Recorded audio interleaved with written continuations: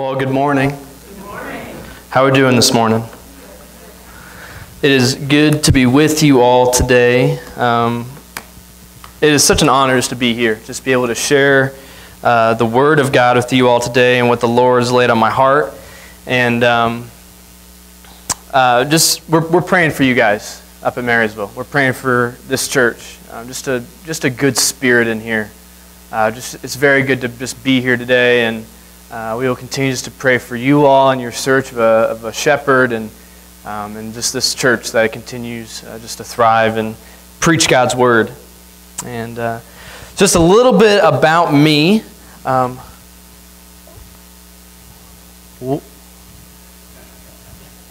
hang on. Oh. That's all right. I'll, we'll just we'll do the nods. All right. Um, so just a little bit about me while they're getting the slide pull up. There it is. All right. Um, a little bit about me. So I actually grew up in a Christian home, but before that, uh, my parents actually were divorced shortly after I turned one. And um, but my mom, uh, she so they got divorced, and then my mom, a few months later, uh, met my my stepdad um, at a singles retreat. Um, my dad met her and said, "I'm going to marry you," and my mom was like, "You're crazy."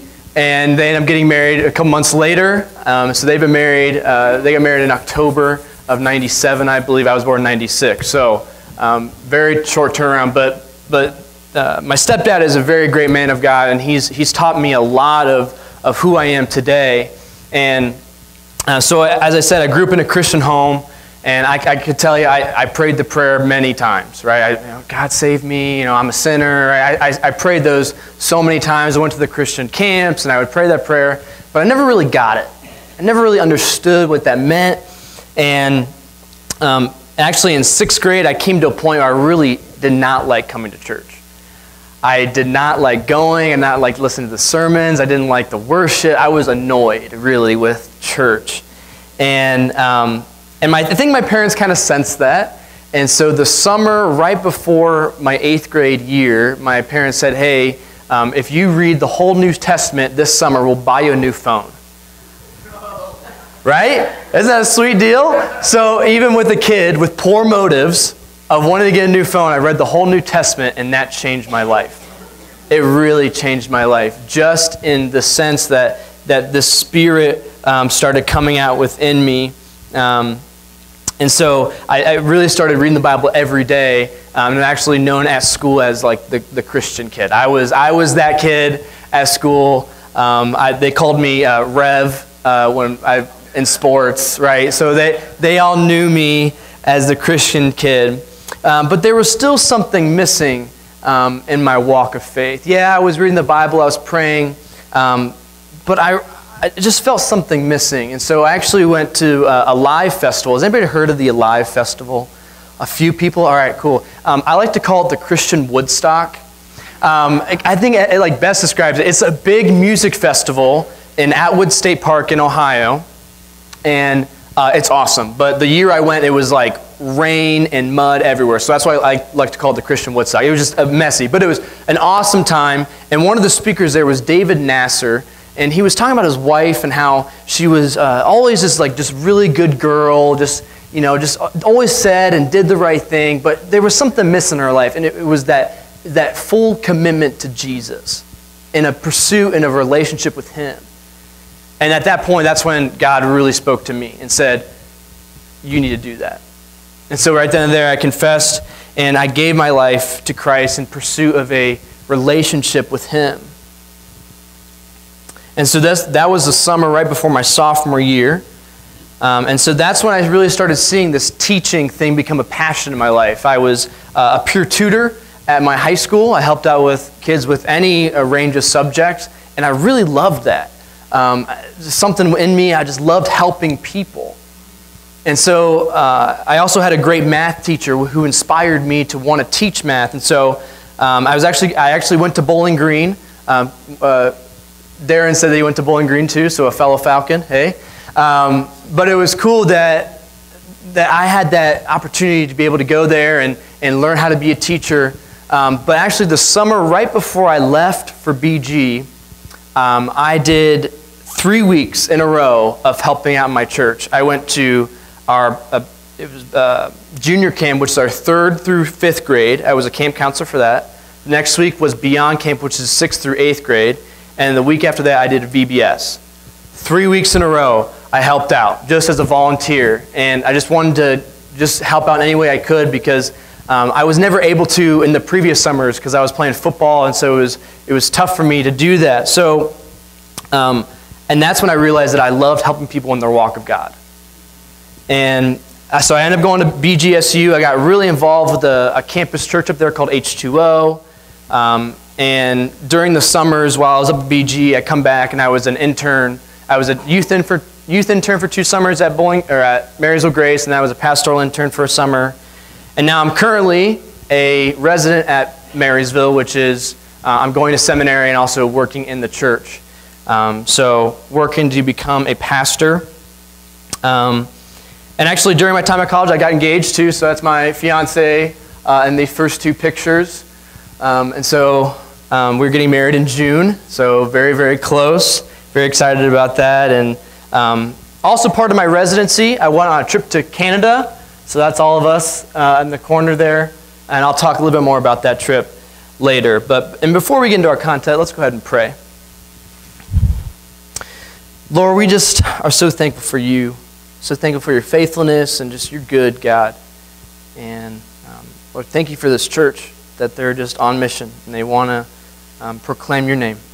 And uh, I pray for them that they may continue to do that. In your name I pray. Amen.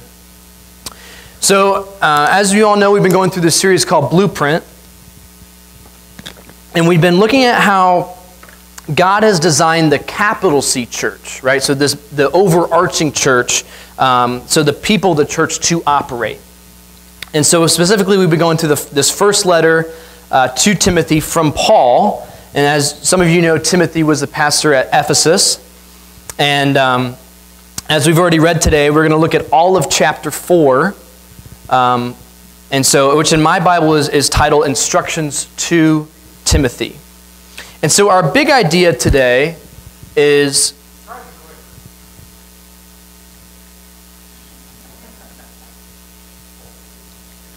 There it is. Here, there. Okay. It wasn't on. That's on me. All right. So you guys are good back there. Uh, our big idea today is through Paul's instructions to Timothy, we as believers can be encouraged in our walks of faith. Through Paul's instructions to Timothy, we as believers can be encouraged in our walks of faith. And so we see this, this big idea play itself out in three different ways. Believers are teachers, believers are in shape, and believers are diligent. And so the first point I want to make tonight, today is believers are teachers. Right? We just we actually just sang in that last hymn right? Teach us that we may teach others. But let me clarify what I, what I mean about teachers.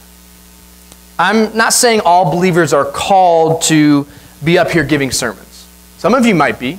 Some of you might be able to be called to that. Or maybe teaching a Bible study or a discipleship class or something like that. But not everyone is called to lead God's people through teaching, and that's okay. That's really okay. Because we each have our own part in the body. We each have our own role in the church. Right? Just how each of you have, have your own role in this church. And some of you might be really afraid of public speaking, right? Some of you might, oh, public speaking, right? It's like one of the top fears in the, in the world. But you might be an all star at hospitality. That's your gifting, right? Your gifting is hospitality to make people feel welcome, to, to bring them in and have them feel loved that, that this, this home that you bring them into is their home. So we each have our own gifting, but we all have one calling. And that's a capital C calling, as I like to call it, and that's a calling to be in a relationship with Jesus. Some might receive another calling, which I like to call a lowercase c, which is um, leading and shepherding God's people, but everyone is called to a relationship with Jesus, each and every one of you. And what I mean by every believer is a teacher is we look at Matthew 28 19 through 20. It says, Therefore, go and make disciples of all nations, teaching them. Teaching them. And we need to be teachers specifically when it comes to the preservation of the gospel. Preservation of the gospel. Has anybody played the game of telephone? Right? So if you if some of you giggled that yes you have, right? So it's this this game where if you have a line of people and one person says uh, a phrase and then it goes along the line and then at the end you see either how well you kept it together or how messed up it got up at the end, right? It, usually it's usually messed up at the end. And I, I had this thought a few years ago while I was at an H2O service about this, this idea of, the, of preserving the gospel and how important that is. That as we pass it along from generation to generation, we have to make sure that we're keeping the gospel message true and we're preserving what it truly is. We don't want it to be like a game of telephone where, you know, we tell one person that someone gets a little bit wrong, and then the next little bit wrong, a little bit wrong, and then at the end it's a different gospel than what we preached before. So it's our duty as believers is to teach the gospel in such a way as to preserve its true message for years and years to come. And we have to make sure we get it right now so that we can so the next generation can, can get it right. And then the generation after that. See, so many people have different ideas of what the gospel is nowadays. They like to make up their own gospel. They make up God in their head, who He is, and uh, what they think He is, and, or how they go to heaven, or uh, what their purpose here on earth is. They make up so many different ideas about this that we have to make sure that we preserve the message of the gospel that it may not be saturated of its truth. If we look at verses 1 through 3, it says, The Spirit clearly says that in a later time some will abandon the faith and follow deceiving spirits, things taught by demons. Such te- teachings come through hypocritical liars whose consciences have been seared as with a hot iron. And then verse 3, it talks about some of the things they, they, these teachers force people to abstain from. And when I was reading this uh, in verse 2, it said that these teachers, their consciences have been seared. Now, I'm a big grill guy. I love grilling. Who's, who, anybody else like grilling here, right? A few people, right? I love grilling. I love getting that nice piece of meat that's seasoned or it's marinated and putting it on the grill. Oh, I love grilling. I, could, I, I grilled this past week and it was like raining and cold and I still grilled. I love it. But what's crazy is, right, so you open up the grill and you got the, the nice, it's nice and warm and you got your nice piece of meat and you put it on the grill, right? And what, what sound does it make? That, right? That kind of like that searing. But what happens is once you put that meat on the grill, it's never going to be the same. That, that raw piece of meat has now been seared, it's been changed, and there isn't any way of going back right? And so this is how bad these teachers were. They were not leading people to Jesus. They had these thoughts of, of leading people in Christianity, but they had become so warped in their thinking that they weren't leading them to Jesus. And Paul says, he's like, where are, these, where are they getting these ideas from? Everything God made was good, right? In verse 4, it says, For everything God created is good, and nothing is to be rejected if it is received with thanksgiving. May this be a caution to all of us how, how we teach people, that our hearts may not be seared, but that it may be for Jesus. See, the gospel isn't a message about uh, do this or don't do that. It's a message of hope. It's a message, it's a truth that has nothing to do about what we've done, what we are doing, what we will do. It's all about what Jesus did. That's the gospel and that we can be covered through God's forgiveness. Let's look at verse 6. If you point these things out to the brothers, you will be a good minister of Christ Jesus, brought up in the truths of the faith and of good teaching that you have followed. So, us as believers must teach in a way that we can ensure and preserve the truth, the true message of the gospel for generations to come. that the gospel doesn't get lost in translation like the game of telephone, and that we can pass it on to our family for generations and generations to come. So, believers are teachers. Next one believers are in shape. If you go with me to verse 7, follow along with me. It says, Have nothing to do with godlessness and old wives' tales. Rather, train yourself to be godly. For physical training is of some value, but godliness has value for all things, holding promise for both the present life and life to come. So, as I shared in the uh, a little bit about me at the beginning, I went on a, a Canadian wilderness trip uh, last September, and in the lead up to the trip, there was a lot of physical preparation. We went to CrossFit um, every Sunday for about eight weeks. Uh, and then I was running um, during the week, and I actually went to the Marysville Above Ground Reservoir. Has anybody been there before? Um, maybe not, um, but it's but it's there's a, a, stairs that it's very very tall, and I would had I had like a dumbbell, and I would run with that dumbbell all the way up, all the way down, just to prepare for this trip. Um, and just to give you a context of what this trip's all about, uh, we basically went up to Algonquin Provincial Park in, in Canada and uh, we roughed it. We lived um, out of packs and no, no electronics or anything like that. We went up there and we basically roughed it, set up tents, all that kind of stuff for six days. Um, which I'm a city boy, so I have never really done any of that in my life. Um, so that was pretty crazy. Um, and we also portaged. Has anybody heard of a portage before? One person, okay, a couple people, okay. Now, a portage is when, so you have your pack, right?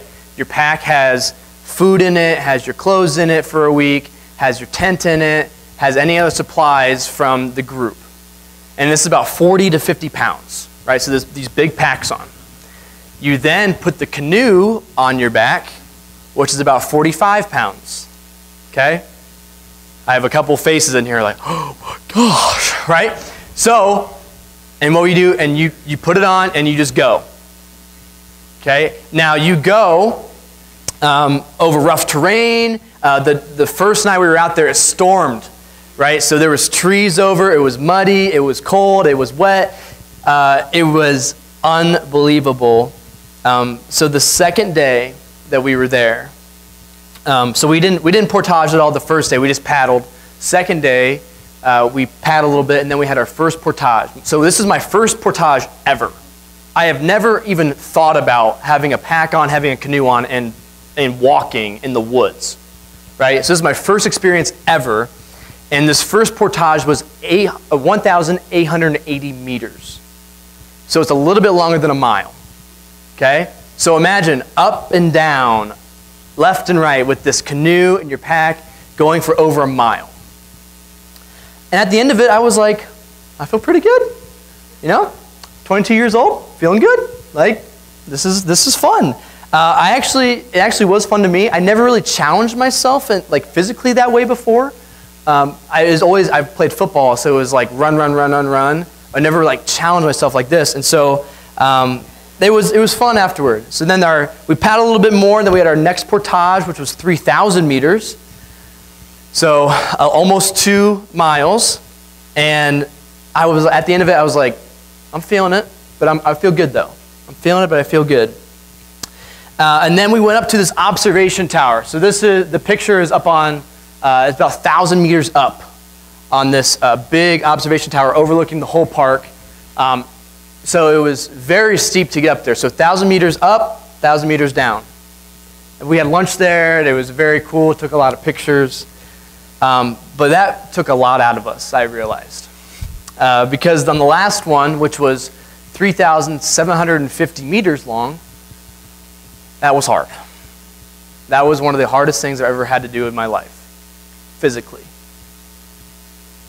And there was, uh, on this one trail, there was a fork in the trail, right? So we, we're going on it, and I'm, I'm feeling good, and it's very flat, and it's like, a, it's like a cart path. You know, it's very nice. There's a fork in the road where you can continue on this nice cart path, or you go up on this one hill that's very steep.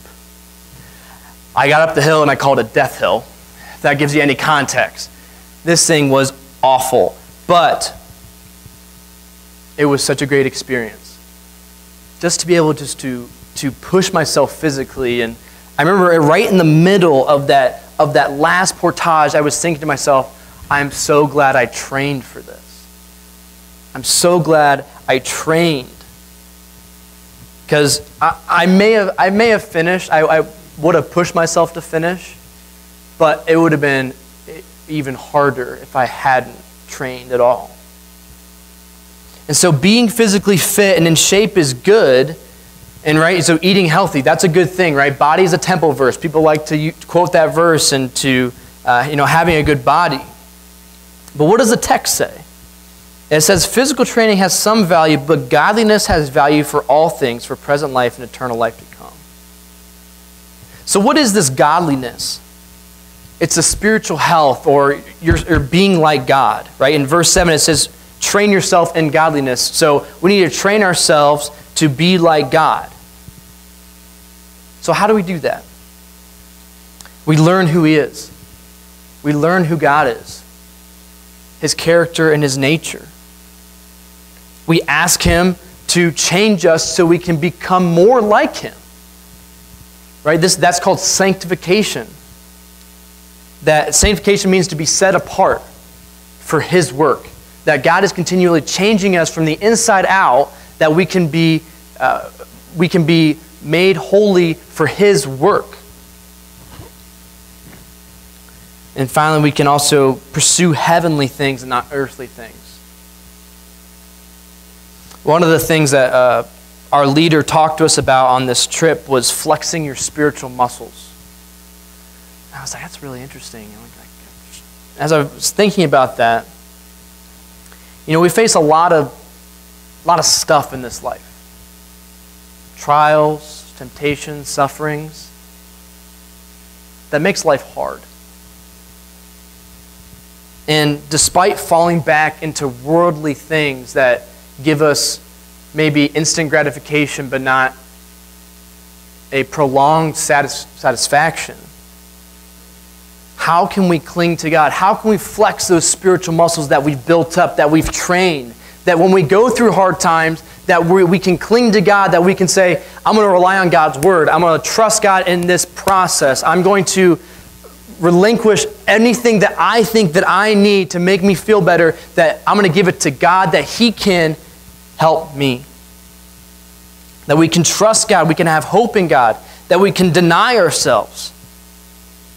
Saying no to what we want or what we think we need or what we think we deserve. Right? Isn't that so prevalent today? I deserve that, so I'm going to do this. I've worked for that.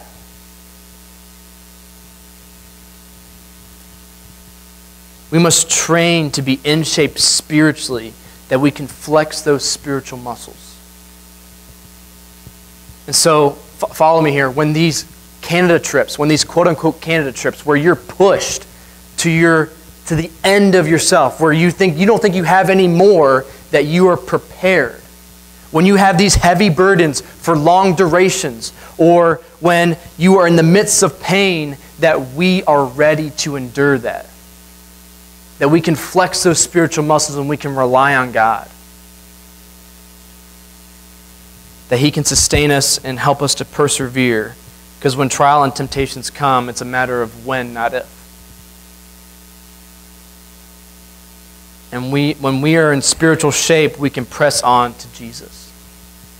We can flex those spiritual muscles and rely on God.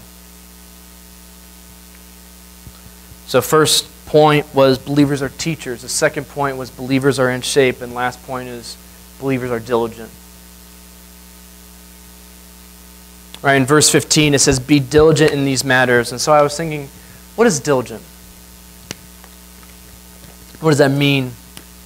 I looked it up, and it says, having or showing a care and conscientiousness in one's work or duties. And if we look at verse 12, it's one of my favorite verses in the Bible. Don't let anyone look down upon you because you are young, but set an example for believers in speech, in life, in love, in faith, and in purity. I have a message to everyone in this room today. To the crowd with the many years of life experience, you know who you are. Young people like me want guidance. We really do. And it may not seem like it. We may think that we have it all together. But we want guidance. And some of you may not know the impact that you can have on somebody like me, just in your wisdom and in your life experience. To the crowd of people that are my age or near my age, seek wisdom. There's a lot of wisdom and a lot of years in this room. Let's take hold of that. Let's take advantage of it that we can be wise ourselves. And this ties into being diligent because we need to be diligent in our relationships. Because Jesus was all about relationships, right? Anywhere he went, he was talking with people, he was interacting with them, he, he was creating relationship with them. See, that's the cool thing about Jesus, is that he's not a, a distant God that doesn't want anything, any, any part of us. No, he's a personal, intimate God that He wants to know us. Dirt and all, right? The ugly parts of our heart, He wants that. He wants us. And so we need to crave the same thing these deep relationships. And so, to everyone, I, have, I want to say two things. For our relationships, we need to listen. And we're not just hear people, but listen to them. Listen diligently. Seek to understand what someone else is saying. What they might say might change your life. You never know. You never know what might happen when you listen to somebody. And I've seen it firsthand the dynamic of a multi generational church and multi generational relationships and the beauty of that. That I can talk to an older guy and say, hey, what'd you do in this situation, man? I'm struggling with this. I don't really know what to do in this situation. And he can say, Nick, you know, I, I didn't do it right all the time, but this is what I did. And maybe that will change my life. There's a sweet dynamic and harmony of a multi generational relationship. And the second is this be an example. Be an example. Be diligent about being an example. Doesn't matter how old you are, how tall, how short, where you're from, where you live, what your past, what your job is, doesn't matter. We all can be examples. We all can set the tone of being an example. Of setting the standard of, I'm going to follow Jesus. Are you coming along with me? That's the standard. I want to strive for holiness because God said that He's holy and He's called each of us to be holy. That's the standard. And so we can be diligent in our teaching, we can be diligent in our spiritual shape, and we can be diligent in our relationship and our witness for Him. So remember our big ideas. Through Paul's instructions to Timothy, we as believers can be encouraged in our walks of faith. And so this is how we can be encouraged. This is how we can be encouraged. This is our application. We can be encouraged by being teachers. We can be encouraged by being in, in spiritual shape. And we can be encouraged as being diligent. So with teaching, with teaching, how we can how you can apply this is share your story with somebody. Share your story. Teach them the gospel preserve its message, its true message. Second point of, of application is flex those spiritual muscles. Flex those spiritual muscles. Trust in the Lord. Depend on Him. Run to His Word when trial and temptations come.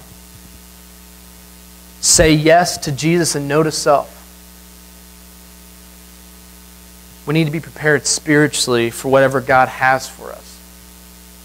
It might be a new job, might be a new opportunity. Who knows? We need to be prepared spiritually, though. We need to be spiritually in shape. And finally, be diligent. Having or showing a care and conscientious in one's work or duties, right? So having a focus of your work or duties. So when I ask you, what is one thing that's taking you away from those work or duties?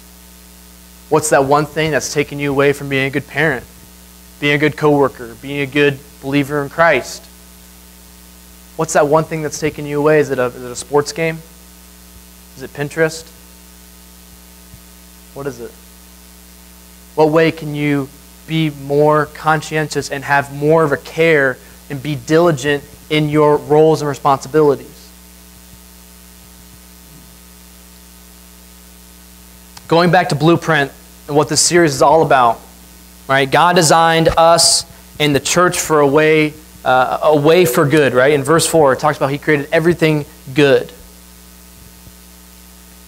Just like how He created you to be good all of us to be good. In verse 14, go down to verse 14 with me. It says, Do not, do not neglect your gift. Do not neglect your gift. The gift that we all have is that we have an opportunity to impact people. We all have an opportunity to impact people. And Paul, I think it's so interesting. Paul finds it necessary to remind Timothy, a church leader. You would think he have it all figured out, right? You think that he would have it, that Timothy would understand that he has an opportunity to impact people, yet Paul reminds him. He reminds him to not forget the gift that he has. That everyone has a role to play. In this church, in this lowercase c church, but also in the global church. We all have a role to play. but we all have a purpose as well. Everyone has a role here in Marion, but we all have a purpose in the capital C church, the, the big church, the global church. Timothy and the church people were not in Ephesus by accident. Timothy was not placed there by accident. He was there to proclaim the gospel and be an example for the people there and neither are you. Being in Marion, you are here for a purpose. Would you pray with me?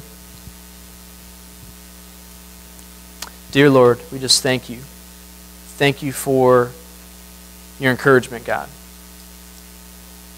That we can be teachers and in shape and diligent in your work. Lord, help us all just to be lights for you wherever we may go. We ask all these things in your name. Amen.